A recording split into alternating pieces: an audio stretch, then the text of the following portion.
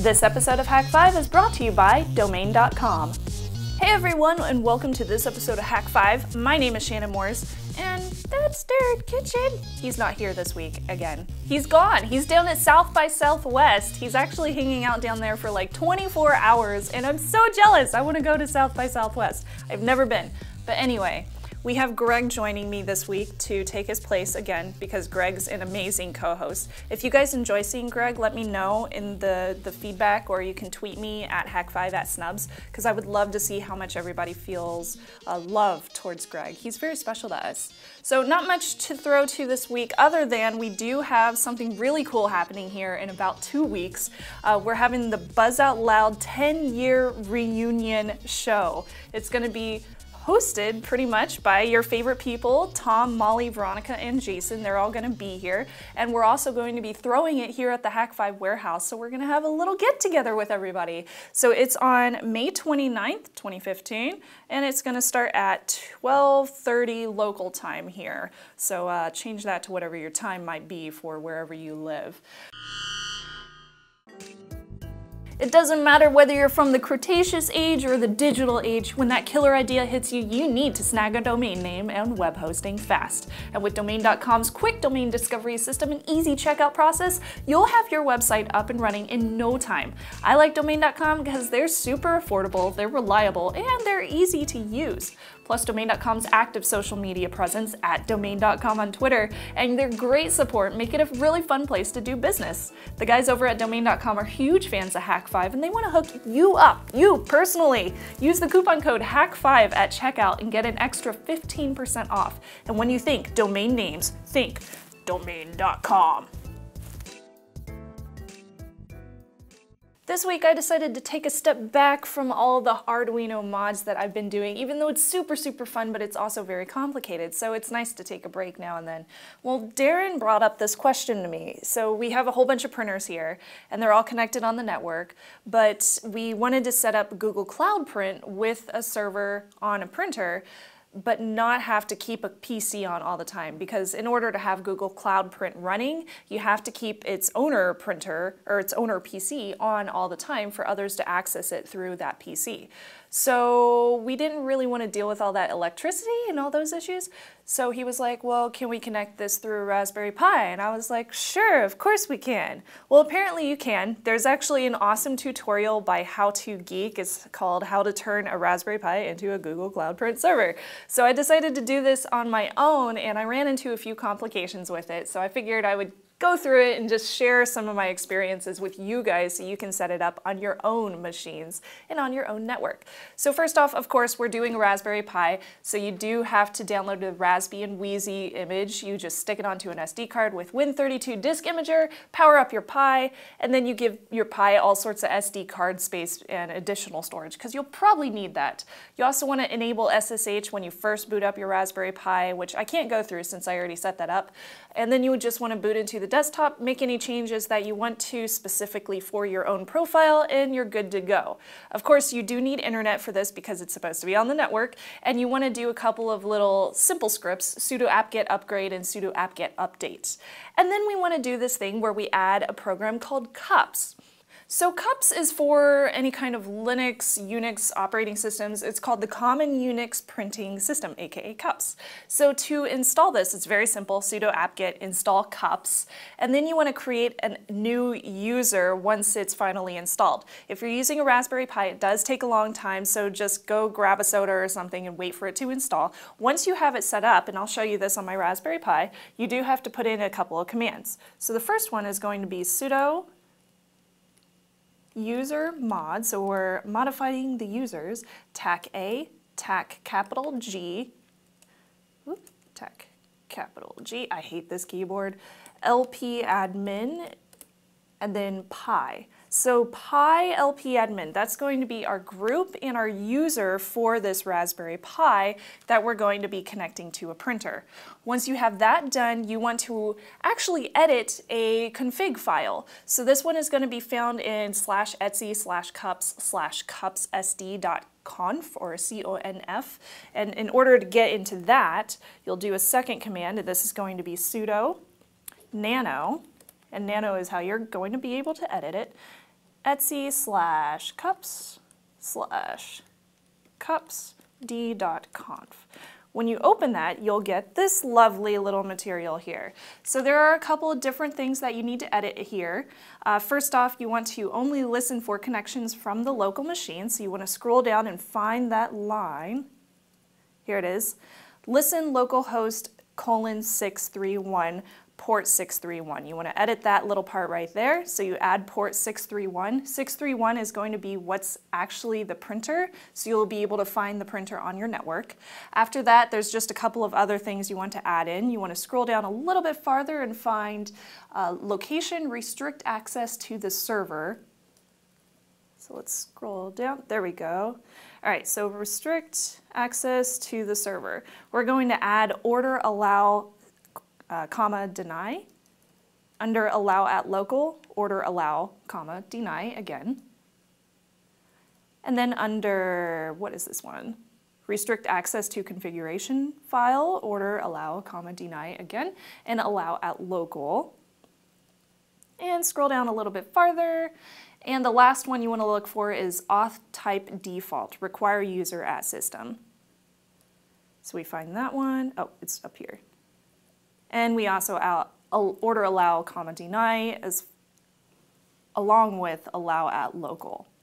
Now once you've done that, you also want to restrict the access to the configuration files and add in the order allow comma deny allow at local and save exit and you're done with that. So in order for me to get out of here, I'm just gonna hit control X because I've already saved everything and then we're back at our regular screen.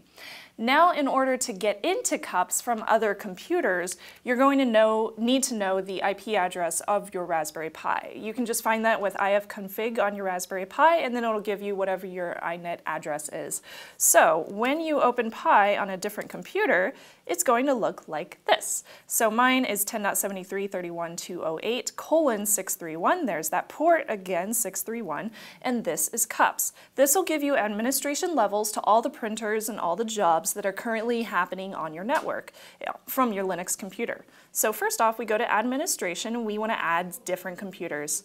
So you go through the process of adding a computer. You basically want to look for your specific uh, printer, whatever it might be. In my case, we added a local printer and then put in the IP address of our local printer. After that, you want to add the driver and add the manufacturer of your printer and then just click OK, and it should come out just fine. I also noticed if you're using an HP printer, you might run into an issue with uh, Linux machines because it requires additional drivers. Luckily, HP does have those drivers available, and I'll put the link in the show notes for that. But unfortunately, with the Raspberry Pi, you may run into memory issues or storage issues with that actual Pi and the SD card. So I wasn't able to get our HP running on here, but I was able to get our thermal printer for the HakShop running on here just fine. So once I had that actually installed, I can go into printers, and you'll notice all the HP ones that I was testing on here. But down at the bottom, we have Zebra 2, and this is the one that I'm going to be using for my segment. So now that I have my printer set up, I can go ahead and go into Google Cloud Print and install Chromium. So this also involves the Raspberry Pi, so we'll go back there. Once you install Chromium, and it's just a very simple sudo apt-get install chromium-browser, you'll be able to access all your different printers on your Chromium browser. So we're going to go into the settings, and it takes just a moment to load since it's very slow. And then we're going to scroll all the way down to where we have advanced settings. Click on advanced settings and scroll down to where you see Google Cloud Print. Now down here, right now it says disconnected printers, as you can see, disconnect printers, and also manage print settings. Now when you first start this up, you'll be actually able to see uh, connect printers instead of disconnect printers. So you want to connect all your different printers, and it's just a very simple thing where you read through what it says on the website, and it'll bring you to this page where you see all the different printers that you currently have set up on your Raspberry Pi to print through Google Cloud Print. Now now my Zebra should be able to uh, print from any computer in the area. So let's see if it works. I'm going to go over to my test email address, which I use for all my test stuff, and I'm going to print. And you'll notice when you change your printers, it's going to show up down here under Google Cloud Print. So I'm going to choose Zebra 2. I'm going to hit print. And this should take about 12 seconds for it to actually connect to the printer and print out. Now you may run into a couple of issues as well if you're trying to print directly from your Raspberry Pi. Did you hear that printer? My printer printed. So it's not set up correctly on the website, but my thermal printer is working and it printed out my email address. Yay! I'm so excited about this. So lastly, I did want to show you one more thing on the Raspberry Pi. If we come back over here, I noticed that a couple of times when I was trying to print to the Zebra, it wouldn't work through the actual GUI. So I actually had to go over to my terminal and then I had to print out straight from the terminal. So I had this test file that I wanted to print out. And in order to do that, I had to go over to my, let's see, I think it was on my desktop. Let's see. Yeah, there it is. So I'm going to type in LPR, TAC P for print, zebra, oops, whoa, European keyboard, so confusing zebra, and then test.txt. Since it didn't work in the GUI, I found out this command would actually print it in about 12 seconds or so, I'll actually get it to print out. So I, I, thought that was a nice little actual tip that I was able to share with you guys since I ran into that problem, and who knows, you might too. Now lastly, if you do want to share your Google Cloud Print printer with other ones, you will need to walk through the tutorial from Google's website. I'll also share that it, it, looks like this, where you can share individual email addresses, so you don't have to be logged into the same exact account every single time you want to print something from that Google Cloud printer. And luckily, it will work for you. Uh, that's about it. Of course, if you guys have questions about this, I'll have the links in the show notes, and you can email me feedback at hak5.org.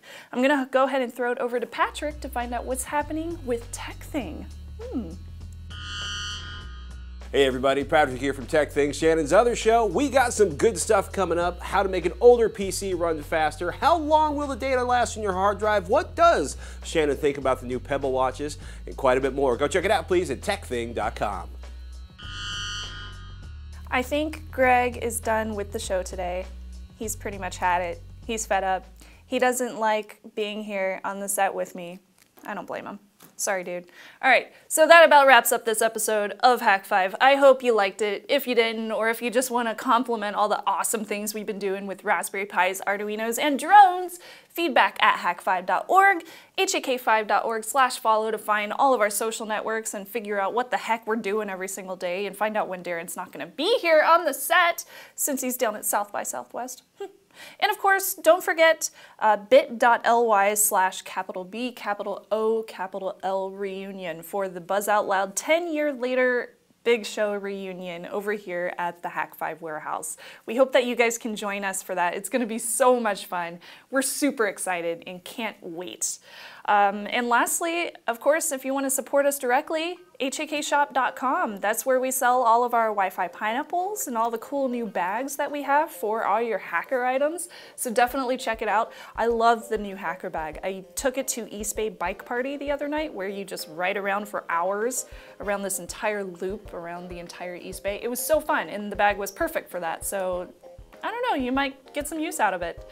So I think that's about it. I'm Shannon Morse, that was Greg, Darren Kitchen's that way, and we'll see you next time. Trust your technolust. And three, two, excuse me, and three, two, shut up. Oh, it smelled like tuna. I had tuna for lunch.